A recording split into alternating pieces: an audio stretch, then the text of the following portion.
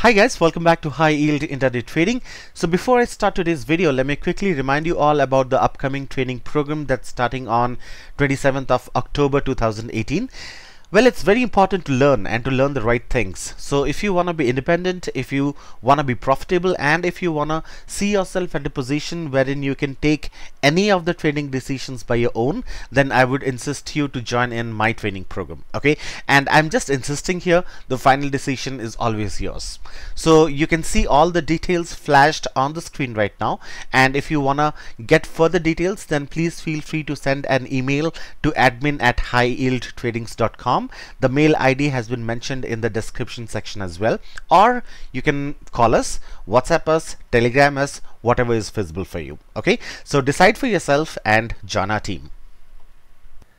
So today we will discuss about a thing that is a kind of a strategy which is well known but many don't use it because the results of that strategy holds good in a one day time frame. Okay, and using a one day time frame and trading intraday is very risky because many of the things will get displaced like the stop loss will be more and stuff like that okay? So basically it's not practical. So the thing I'm talking about here is NR4 and NR7 where NR stands for narrow range okay? But as a trader it's good to know about various stuffs. So let me go ahead and explain what exactly NR4 and NR7 are and how can you use these things in your trading okay? So as I said NR stands for narrow range. The number 4 here means the last bar of the past 4 bars that has the narrowest range than all the previous 3 price bar ranges or the previous 3 candlestick ranges. Okay? Similarly the number 7 means the last bar of the past 7 bars that has the narrowest range than the previous 6 bars or the previous uh, 6 candlestick ranges. Okay?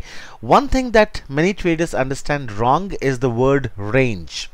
Here range is the difference between the candlestick's high price and the low price and not the difference between the open price and the close price of a particular candlestick okay? This is something that you need to remember.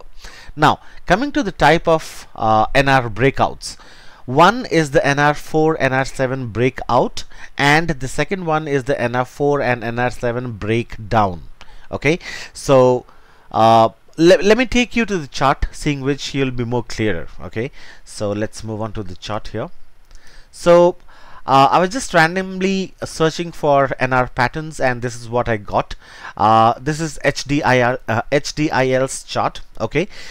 So we'll discuss about NR4 first. Okay. So you see these four uh, bars, right? These four candlesticks starting with the red one. One, two, three and four. Just by seeing this, it is very much clear that the range okay as I said the range means the high and the low of the candlestick. Okay so the narrowest range among these four is the fourth candlesticks range right? So the high and low of the fourth candlestick is you know I mean the difference between the high and low of the fourth candlestick is less than the difference between the high and low of the previous three candlesticks. Okay one two three. So the fourth candlesticks difference of the high and the low is the narrowest compared to the previous three candlesticks. Okay hope that is clear. Now when you get these type of pattern this completes the NR4 pattern. Okay the reason why I have drawn a horizontal yellow line here is because this is the fourth candlestick whose range is the narrowest okay among the four candlesticks that we get here okay.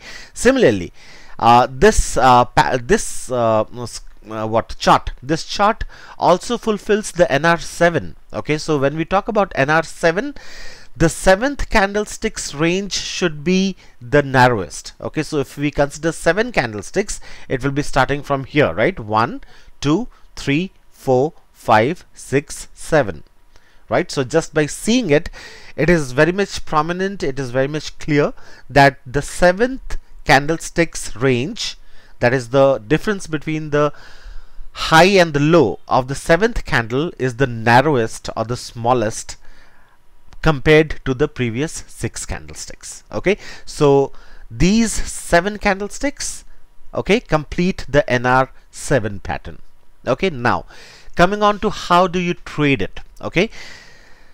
Now you will take up the trade. Let's say for example uh, you are trading NR4 so we will consider four days candle. Okay. Uh, by the way this uh, is a one day time frame as you can see here. So each candle represents one day. Okay.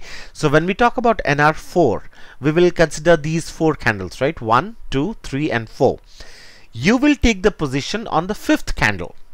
Okay. Now where do you take the entry? Your entry will be the place when the fifth day's candle breaches the high of the fourth day's candle. Okay so here will be your entry. Okay what will be your, your stop loss? Your stop loss will be low of the fourth day's candle. So here it, it will be the stop loss. Okay so the top of the candle the high of the candle is your entry on the fifth day on this candle okay? And your stop loss will be the fourth day's low which is this position. Okay? Now what will be the target? The target is the close of the fifth day's candlestick. Okay? So where did the fifth day's candlestick closed? This is the point right? So this is the target. Okay? Now there is no hard and fast rule for the target. If you are satisfied with your target somewhere here book it. If you're satisfied with your target somewhere here book it. Okay? But theoretically speaking the target is set at the uh, closing okay at the closing of the of the fifth day's candle okay? So this is how you trade okay? Now this is a one day candlestick. As I said uh, this fits good in a one day time frame okay? That is why people don't uh, normally trade it in intraday trading okay? So ha uh, have a look okay? Do some more research and I believe you can use these type of uh, patterns as a swing trading in your swing tradings okay? That will be quite helpful I believe okay?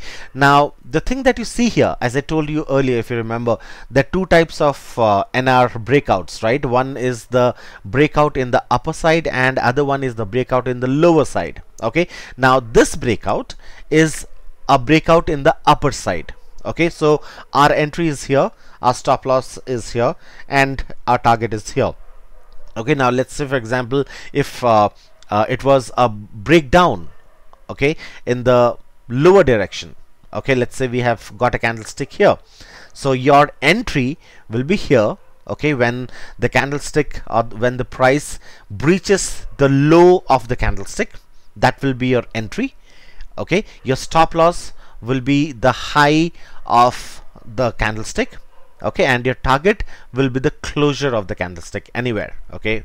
So wherever that closes that particular candle closes that will be your target okay. I hope it is clear as to how do you decide the entry exit and the stop loss when you see a breakout or a breakdown okay? So that's it guys. This is what I wanted to share with you and I hope it was helpful to you. But remember this pattern or strategy holds good in bigger time frames. Okay? So be careful while using it in intraday trading if at all you are going to use it. Maybe uh, you can also use it for swing trades as I said. Okay? Depending on the candlestick patterns uh, it has formed. Okay? Now like in this case it was a bullish engulfing right? So if I take off all the drawings from here okay? You can clearly see that this is a bullish engulfing. Okay? This green candle is completely engulfing this red uh, candle's body. Okay? So it is a bullish engulfing that is appearing here. Okay? And that is the reason why it zoomed up. So you can you can very well uh, mix and match things. Okay? So we have two reasons why HDIL went up from this point. The first point was it was uh, NR4 and uh, NR7 breakup okay or uh, yeah a breakup uh, in the upward direction. And the second reason is because uh, you got a bullish engulfing here. Okay but again the price action that I'm talking about is not that simple. Make sure to be very much aware about anything that you do in the stock market. Make sure that you have a good cognizance and a good hold of whatever you are learning. Okay so yeah that's it guys. And as always would request you all to like and subscribe to my youtube channel. And also please join in the telegram channel the link to which you will find in the description section. Okay and i will see you all later. You all have a very good night. Happy trading. Bye bye